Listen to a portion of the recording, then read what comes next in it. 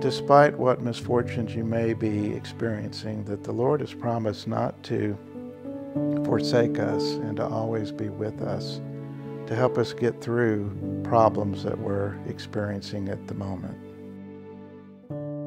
When you're doing medical, dental, missionary work, um, there's obviously a tangible benefit for the recipient, for the patient, but there's also a benefit to the provider. Um, and I don't mean just giving you a warm feeling in your heart uh, for a, a, job well done and feeling like you're doing some good. Um, we're commissioned as Christians to be the hands and feet of Christ here on earth, you know, to the conduit through which Christ works when he is uh, helping some of his other children. Back in 2010, um, a group of my friends from the hospital invited me to join them on a mission trip to Ethiopia. When we first arrived at the airport in Addis Ababa, I was a little bit worried because I had assembled quite a bit of equipment and supplies. Um, the rumors that I'd heard, or the stories I had heard, I should say, were that it's difficult to get your equipment and supplies through customs there at the airport. Quite often they will confiscate whatever you're bringing in, accuse you of wanting to sell it as contraband, and then you have to bribe them to get your things back. And so, having just bought an expensive x ray machine, a portable x ray machine, uh, I was afraid I was going to lose it all. Uh, but uh, as it worked out, they it's almost like the Red Sea parting.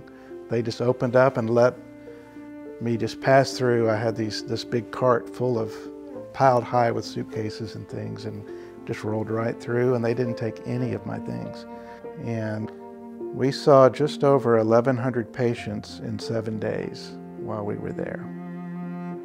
At the end of the week, we had two days set aside for some sightseeing and for um, enjoying the country and uh, for recreation, if you will.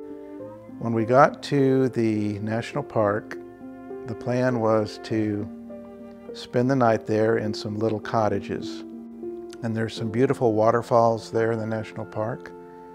And the ground, the terrain around the waterfalls are very rocky and very rough terrain.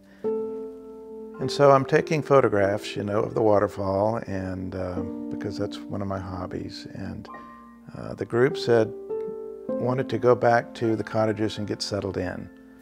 And I said, wait, just I just want to get a few more pictures. You know, I'll I'll come behind you. Go ahead. And so I took a few more pictures, and I trailing along behind them, I stumbled on one of those rocks that are in the area. And foolishly, I held onto my camera. And so instead of putting my hands out to break my fall, I landed on my elbow.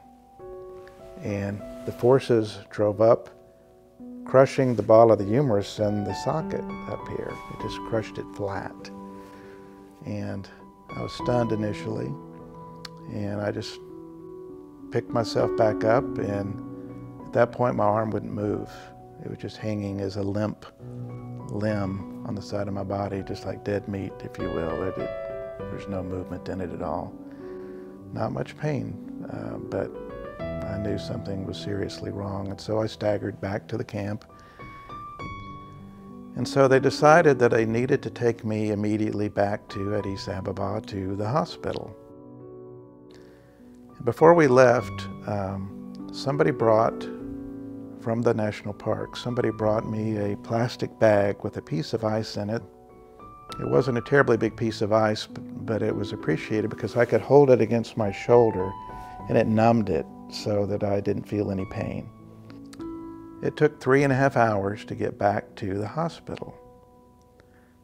And surprisingly, as we pulled into the parking lot of the hospital, only then was the ice melted and gone. I fully expected it to melt within 30 minutes to an hour at the most, just from my body temperature being against it.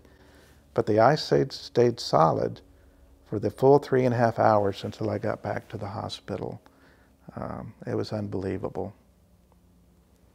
I went into the emergency room, and as Providence would have it, uh, the doctor they had when I arrived was from America.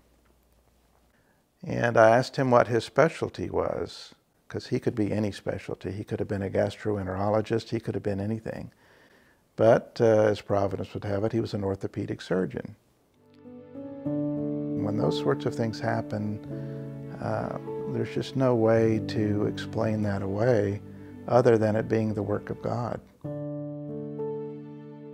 Despite all the difficulties that I encountered there, the Lord was always with me through this whole process. He made things less bad than they could have been. Uh, he put the right people in the right place to give me the help that I needed at the time that I needed it. Um, he kept me from great financial loss and losing expensive equipment. He, um, he provided every need that I had through this whole process.